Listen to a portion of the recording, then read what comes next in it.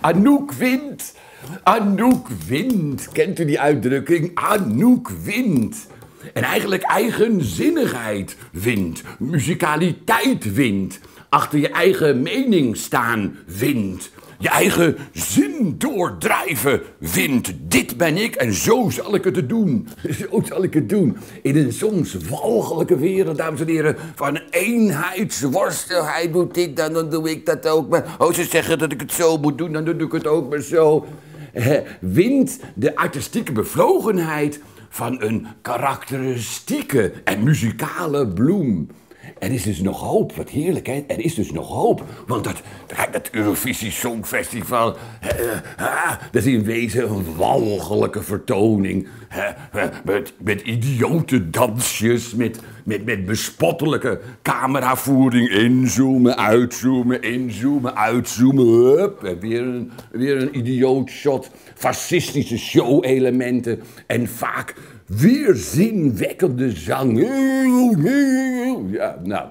En daartussendoor, daartussen ineens een kwetsbare, lieve bloem Anouk. Heel sober, heel eigenzinnig.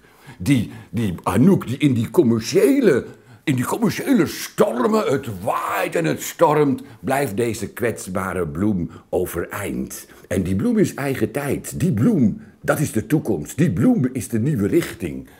En de bespottelijke regie, de belachelijke show met vuurwerk, met zinloos in- en uitzoomen der camera's, met de kotsopwekkende gladheid, die, dat element heeft zijn beste tijd gehad.